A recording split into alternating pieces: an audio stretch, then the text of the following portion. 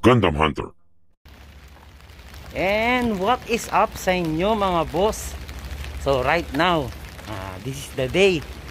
Umuulan. Pero tuloy pa rin tayo. Pupunta tayo ngayon sa Gundam Base mga boss. Ha? Ibang klase experience to. Naulan. So pag naulan tayo usually hindi tayo maalis pero ngayon tara Gundam Base let's go.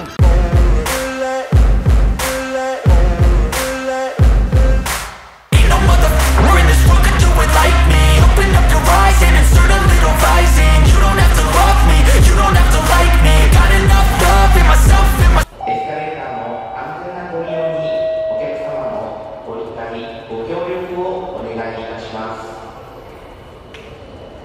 Yan, magandang hapon mga kasi.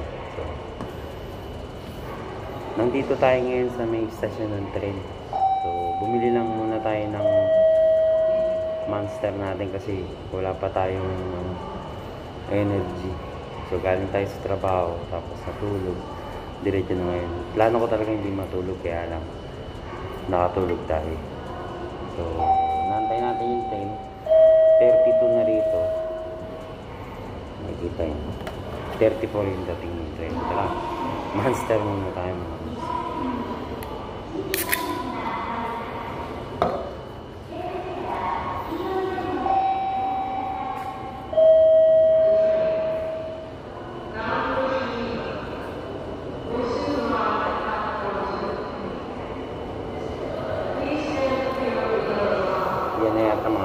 Tara.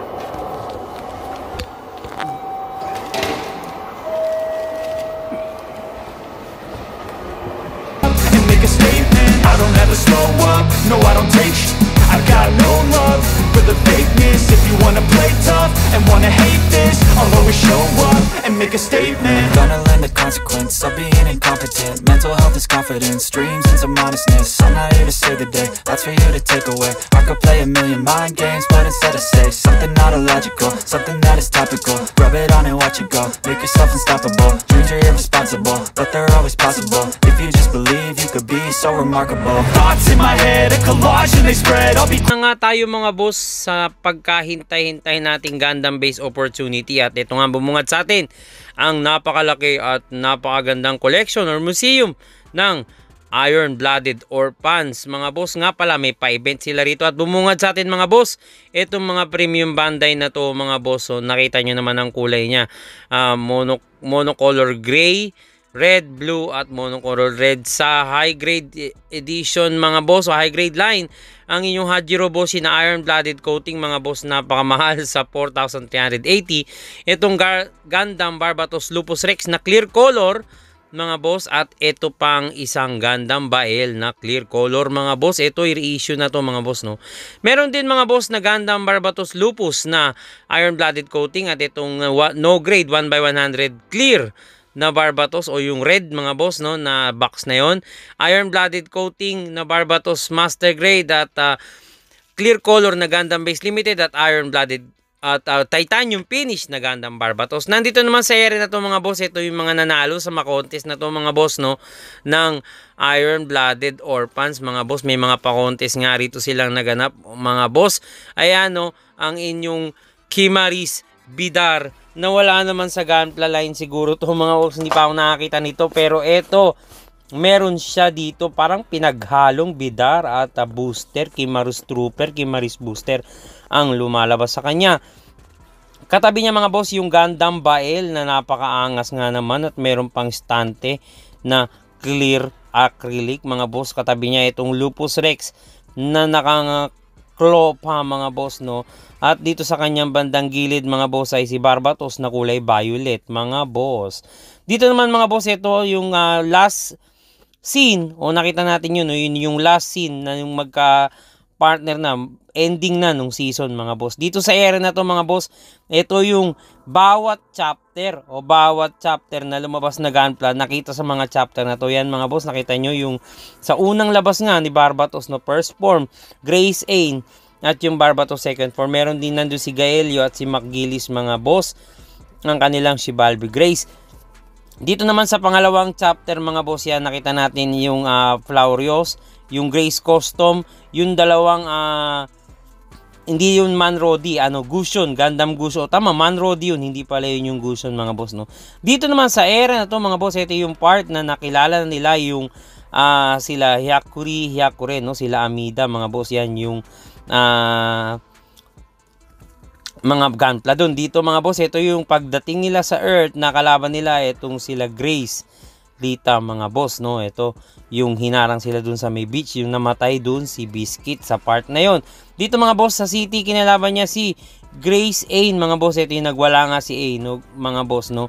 At uh, tinusok niya sa tiyan. Ito yung isang epic na scene sa Gundam Barbatos. Pagdating naman dito mga boss, ayan na, naglabasan na nga yung mga Gundam natin yung Yugo, naglabasan na yung iba, Gushun City Rebake, mga boss. Andito naman sa area na to, sa chapter na to, ito na yung Manro, Diland, Type, yung Helmway Green Car, at ito na yung kanilang kalaban na si Hashmal, mga boss, yan. Yan yung area, yung area na yun mga boss ay tumatak talaga sa lahat. Ito mga boss yung nasa baba yung tumitira mula sa taas yan yung tumapos sa ilang mga mobile suit.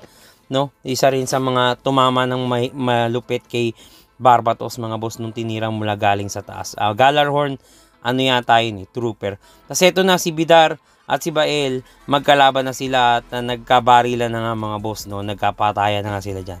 Sa bandang dulo mga boss yan, yung last and final battle, eh, ano nga yung, uh, yung mobile suit ni Iyok, yung Gushon na Pool City mga boss no. So dito naman sa era na to lahat ng available na gunpla na nagkaroon ang mas ang uh, Iron Blooded Orphans ay nandito lahat mga boss. Nakadiorama siya ng pa, parang isang malaking koleksyon at nasa gitna si Ashmal. Ito ang senaryo na to mga boss, ito yung parang sa Mars na to mga boss no. Uh, ito yung parang land nila doon. No? So nandiyan na nga lahat ng imaginable o lahat ng gusto mong i-collect na gunpla ng Iron Blooded Orphans ay nandito na. May mga limited edition, may mga premium bandai, may mostly mga high grade mga boss uh, lahat nandito yan sinumpa nga natin yung hashmal mga boss na napakalupit na gustong gusto ko rin magkaroon yan. So yan mga boss ang ating Iron Blooded Orphans uh, Museum slash collection yan mga boss na naka-available pa rin sa Gundam Base. May mga konting palabas din sila rito para ma ma-remember nyo mga boss yung ating uh, mga Iron Blooded Orphans na scene. At eto nga meron dito isang malaking iron-blooded orphans na statue. Hindi ko alam ang scale nito. Possible nito mga boss 1 by 12 or 1 by 10 hindi natin alam. Usually pagka ganyan 1 by 12 yata yan mga boss. Yan napakalupit ng uh, malaking barbatos na to at kinunan nga natin siya mga boss. Dito naman sa area na to mga boss yan ito na yung sa mga gunpla na available dito mga boss no? So yan yung mga line yung mga senaryo, yung mga nasa picture at kung paano sila ni-reenactment, no? Kung may collection ka ng ganitong mga Barbatos na line, ako isa isa ako diyan at kinukumpleto na rin natin 'yan. Tama nga naman maganda itong idea na to no sa likod yung picture kung ano yung senaryo, ilalagay mo siya diyan kung ano rin yung pagkakatapos niyan mga boss no. Yeah, ilalagay mo siya diyan sa likod ng iyong istante para mukhang museum ang dating. No? Napakaangas nga naman itong IO frame. Shiden na yan mga boss. Yung Flauro sa likod, yung Helmer Glen Car, itong Marcosias, lahat ng Gundam frame, lahat ng klase ng uh, dun sa Calamity War, nandito din sa baba, may Astaroth, Astaroth Origin, Renacimiento, meron din Bual, may Yugo, meron dyan tayong uh, Dantalion, at Gimrel yata ay may Gremory pa nga sa harap mga boss. So lahat ng mga nilabas nila mga boss ng mga nakatayong gunpla ay nandito. Kaya masakit sa bulsa pero masarap sa mata pagka kinumpleto mo yan mga boss yan no? dami pa nga may mga 1 by 100 pa nga sila dyan mga boss ang lahat pa ng klase ng option set nandito at ito ang kutan booster na sinakyan ni Barbatos dun sa kanyang space invasion at ito nga mga boss nandito pa nga yung mga 1 by 100 na ito rin isa rin to sa mga dream collection kung meron na tayo dyang ilan pero kukumpletuhin pa natin ito at bubuin natin pag nagkaroon tayo ng time sa dami ng mga binubuo natin ngayon mga boss. Yan nga sila, masarap nga naman sa mata mga boss kung may koleksyon ka ng ganito. Sana all ka na lang. Maraming maraming salamat dito din sa area na to mga boss no. Nakita natin yung mga SD Gundam yata to mga boss. Napakagandang diorama na to. Sinama ko lang yan mga boss. Dito naman sa area na to mga boss, ito yung mga release no, yung mga special limited edition release mga boss. Yan, binagalan lang natin kasi bawal mag-picture dyan. Nakalagay naman sa baba, no camera. Pero makulit tayo mga boss yan. May Zaku 2, high grade. Zaku 2 FS. Hindi natin alam ano ibig sabihin nun yan. Ninininja pa nga natin siya. Dahil bawal nga. At makulit pa rin tayo. May stop kasi dun mga boss, no. Meron din dito real grade Z yung Pagdating naman sa iba pang mga UC real grade mga boss, nandiyan dyan, may new Gundam din dyan mga boss, no? Uh, high new Gundam. So yan mga boss, maraming salamat sa pag uh, panood nyo at abangan nyo yung part 2 mga boss kung ano yung mga nasa lobby. Isa-isayin natin, medyo humahaba na yung video natin. Dito muna tayo. Dito natin tatapusin mga boss. Ito, ito pangako, pangarap ko rin tong collection mga boss, tong clear iron-blooded uh, coating. Gagawin natin yan mga boss. At yung uh, titanium finish na barbatos dun sa may bandang gitna. So yan, maraming maraming salamat mga boss.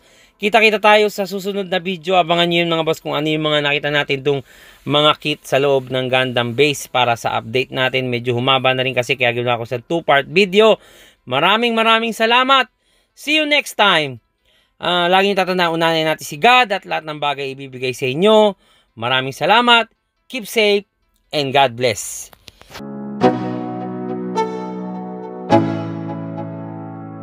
Let's go. Yeah. I'm like an addict, do I gotta have it I ain't even playing, got a really bad habit If it moves, gotta grab it, fuse like a magnet Lose, won't have it till I'm doomed in a casket I ain't playing, got a weird mind. If you work 8 hours, I'ma work 9 If the shoot tastes sour, you should taste mine. I'ma stay in power